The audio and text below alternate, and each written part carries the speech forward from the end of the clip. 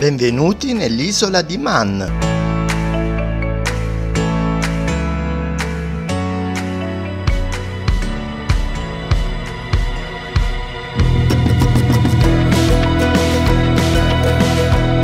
Lasciata Castletown, col trenino a vapore raggiungo i porti del sud dell'isola.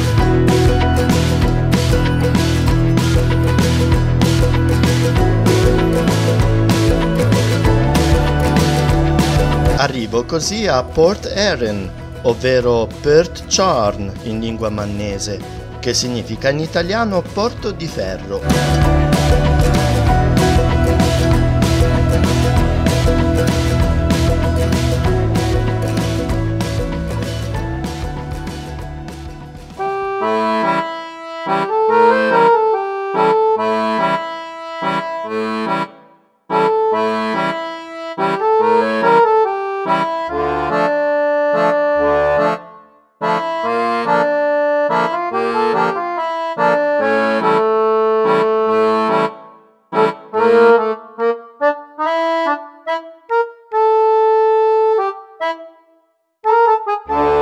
Sceso dal treno mi dà il benvenuto il museo ferroviario che conserva un'affascinante collezione di vecchie locomotive.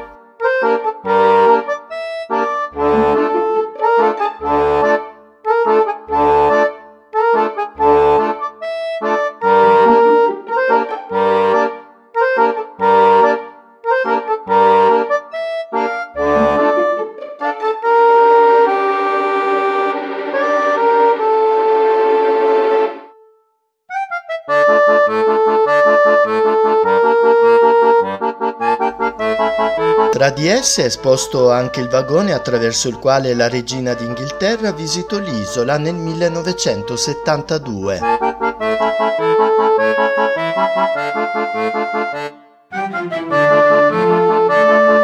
Un simulatore permette di provare l'esperienza di sedersi alla guida di un treno.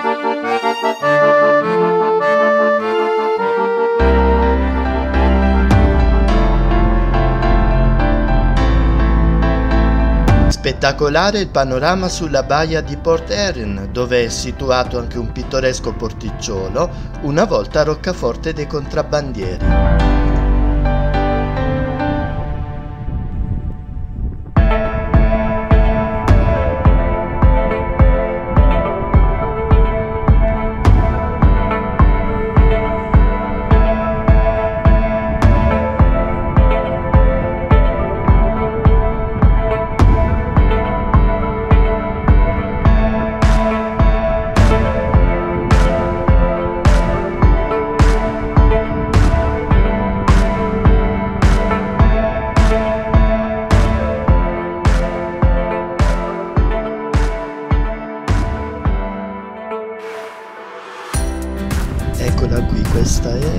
È Port Erin, all'estremità sud-ovest dell'isola di Man. Bellissima, vero?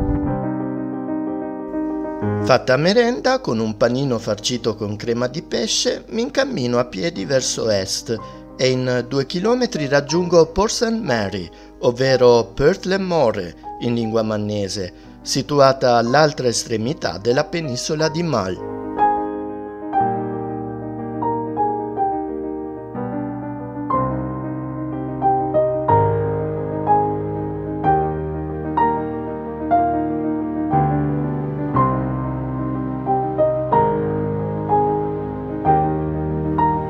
Port St. Mary è oggi un pittoresco villaggio di pescatori che ancora conserva case in stile tradizionale mannese.